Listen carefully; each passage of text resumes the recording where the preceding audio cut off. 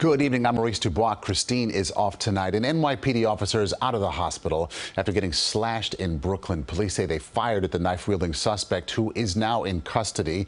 CBS 2's Ali Bauman with the latest from Coney Island. A 16 inch knife is marked as evidence on West 8th Street, steps away from both the Coney Island Boardwalk and the 60th Police Precinct. It's one of two blades police say a man armed himself with here while blocking traffic just before 1 p.m. A passing cop saw and walked over. The man rushed toward the officer with one of the knives raised.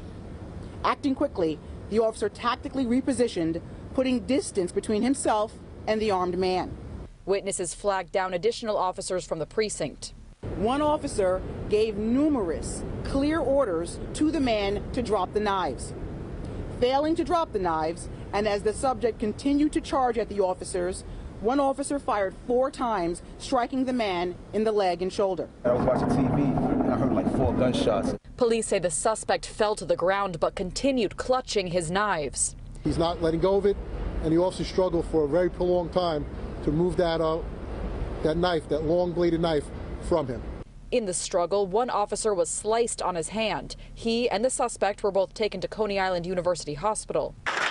Just a few hours later, Officer John Favale walks out of the hospital with his hand bandaged, greeted with applause from dozens of cops and Mayor Eric Adams. The dad served with me, a former uh, inspector, commander.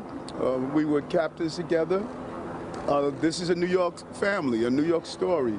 The police commissioner claims body cam shows the officers acted by the book. I have watched these videos. While we don't yet know the motive behind this attack, we certainly know that the actions of these officers exemplifies what it means to be New York's finest. The suspect is stable at the hospital where he's in police custody. Sources tell us he has no criminal record. Charges are pending for weapons possession and assaulting an officer. In Coney Island, Brooklyn, Ali Bauman, CBS 2 News.